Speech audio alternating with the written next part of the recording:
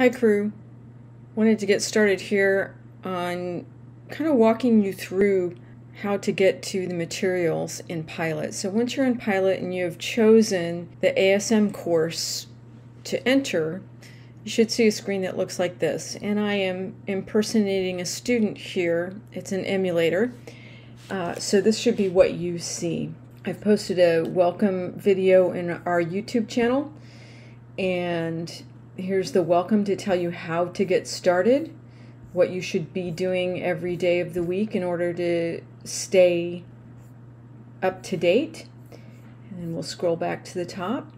And the best place to enter is here through content and start here. When you begin the course, you're going to start all of these preliminaries.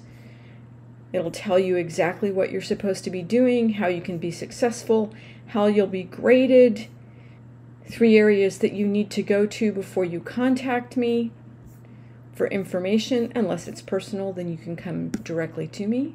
I'm going to go backwards. Netiquette, that's just a little etiquette on what you um, should and should not be posting. This is an academic environment. Here are some uh, proper citations for using APA. Here are some ideal discussion post and response samples for you and samples of work uh, at different grade levels. You have an introduction to Labster, which you're going to have to go in and sign up for Labster. So I will hop in at the demo simulation just to show you what it looks like when it first loads. And you will see that if you need to get into Labster, you're going to have to purchase access to get to it. So I'm going to go back to start here. Once you have completed uh, that Labster orientation, you need to schedule a one-on-one -on -one meeting with me. This will take you out to my meeting scheduler because I need to meet e each one of you. This is an asynchronous remote course and there are times where you may need to reach out to me, and this is how you do it. This is sort of your ready to start the course checklist. And if you've gone through all the items in the checklist, visit the Start Here pages, visited and looked through the sample discussion post and what it takes to get uh, passing grades on your written submissions, scheduled your meet and greet, and completed the certification of understanding, which means you have read through all materials and you understand what the rule set is for the course. You've also taken a look at the li living syllabus. You've signed up and accessed CK12, which is the online textbook. Take you out and see if we can do an orientation there.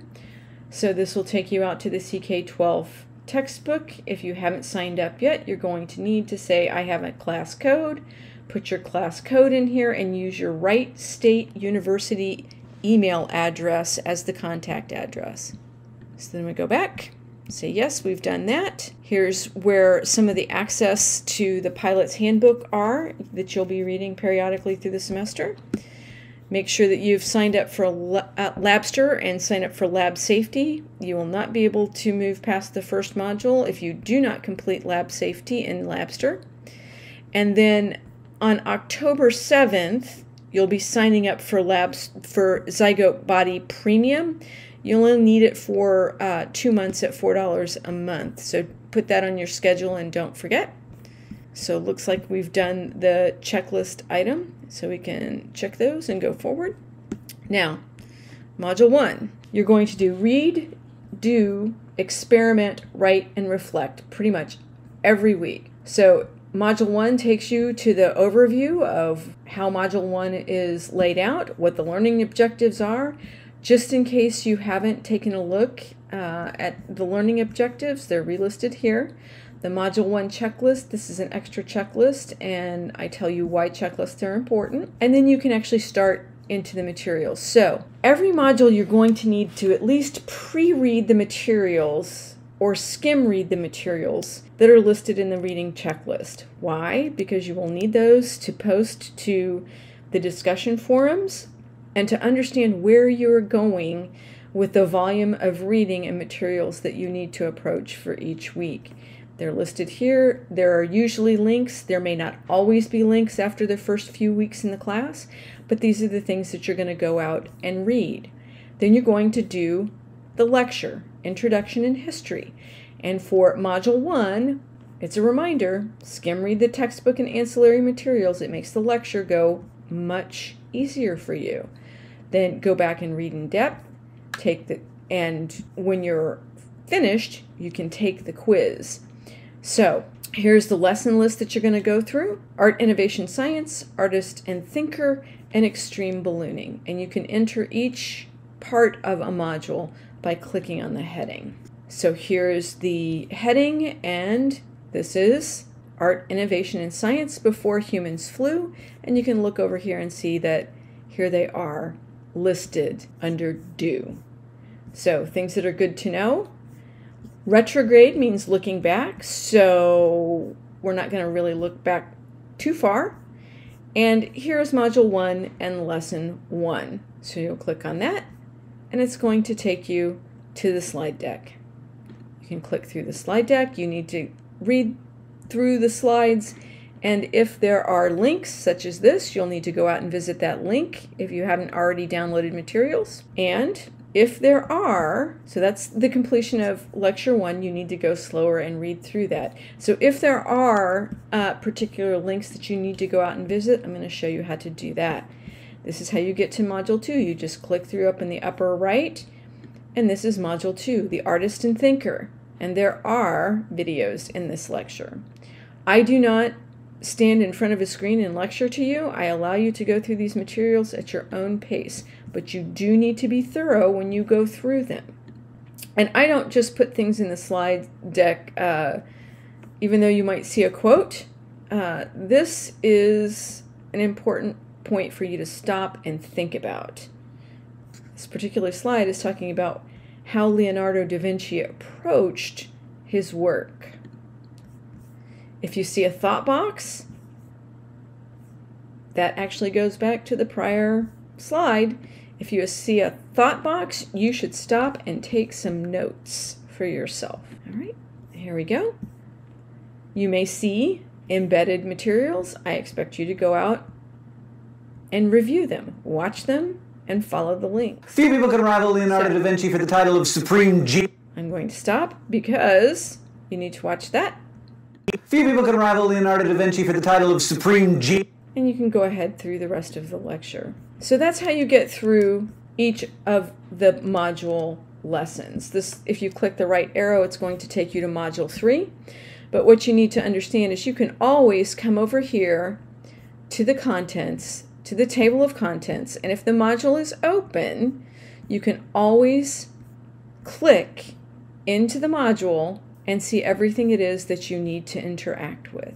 So, the experiment is Labster Experimental Design. Your lab worksheet will be listed at the top to help you think through the experiment.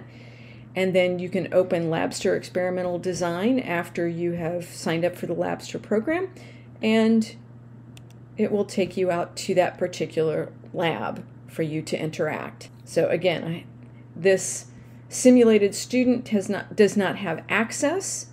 So I am just going to go backwards by hitting the back arrow and it's going to take me to the last thing that I successfully completed. Write means your discussions and I expect after the first discussion that you will have a minimum of 150 words in order to be analytical enough to meet the criteria for discussions. You may always not always have that many, but if your response is yes, good post, that is insufficient. I want you to think about what you are posting and what your fellow crew are posting.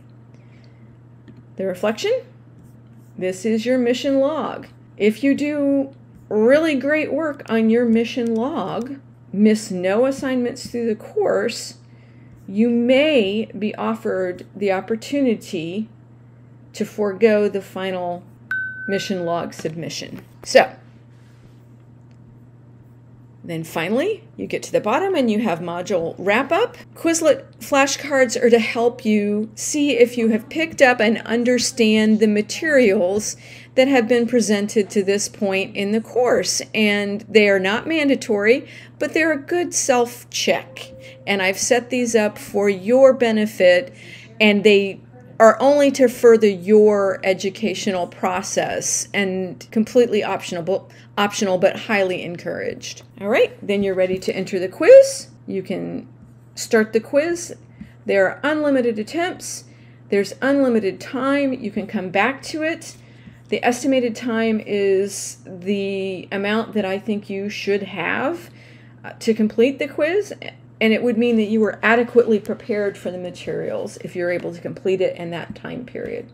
If you have a timing adjustment as part of your student success plan, then make that adjustment for yourself. And then finally, at the end of the module, there is a checklist to help you understand what it is that you needed to accomplish in the course in that particular module. So I'm not going to complete that, but I'm going to go forward. And the only other thing that you can see at this point in time really is the Labster dashboard, and that's available for you to follow your own progress. I will not be able to see progress since this is a surrogate student. Uh, but for you, you should be see, able to see your name, any courses in Labster, assignments and grades under the Labster dashboard. So I'm going to go back to the table of contents, which is going to take us back to the beginning of where we need to be. And I'm going to go back to module one, where you're going to start. And then we'll run across the top just a little bit. Home will take you to the home page for the course. Content is where we are right now.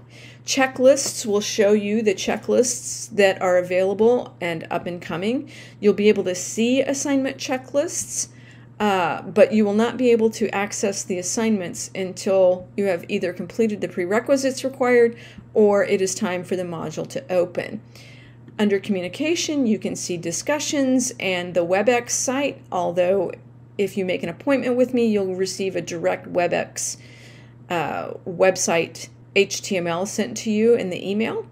Under assessment, this is where you can see where drop boxes are, the quizzes and exams are, the rubrics, self assessment surveys, anything that you need to see from your assessment standpoint. Uh, if you want to go directly to that rather than working through the module content, that's a quick access. Here are your grades. I recommend that you hop in and check. I use Pulse on my phone and it keeps me up to date with what's going on in all the courses I have. And you'll be able to see a list of things that you have coming up that are graded items. This is going to populate a little bit more over the semester as I do not have everything fully transferred into this uh, fall course. So don't freak out. It's going to look a whole lot like what is in your living syllabus, which I will take you to when it comes to assignments. So when you go to the interactive syllabus, here you go. Here are your contents. The most uh, probably important thing that you are interested in is the assignment schedule. And you can go through all of the course assignments. So here you go. All right, here you are. That's the syllabus. I'm going to take you back to the course. And that's essentially your click by click overview of how to navigate the course, particularly through Module 1. I hope you find it helpful.